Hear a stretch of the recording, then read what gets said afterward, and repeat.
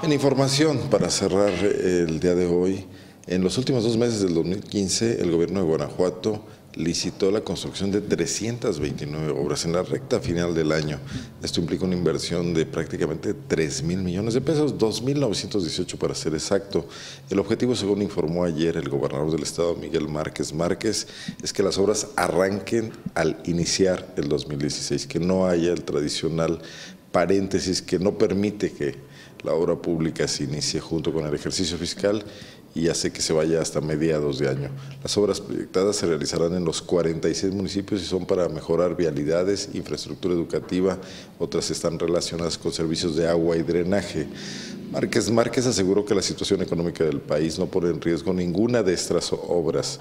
Entre los proyectos destaca el nuevo Hospital General de León. Por sí sola esta obra alcanza casi los 800 millones de pesos. El acceso a Cervera desde la carretera de Cota, Guanajuato, Silao, en la capital del estado, que permitirá eh, una salida vial importante ahí a una congestión de tráfico permanente en esa zona de la caseta de Guanajuato. El gobernador Miguel Márquez Márquez dijo lo, anterior el día de ayer, así, así lo expresó. Mediados de noviembre y diciembre sí, se llevaron a cabo diferentes licitaciones por todas las ejecutoras aquí presentes, el tema de agua, eh, drenaje, este, lo que es infraestructura en todos los sentidos con obra pública, lo que es la, obra en el tema educativo, en el tema de deporte, y que queremos dar a conocer hacia ustedes. Eh, decirles que eh, tenemos eh,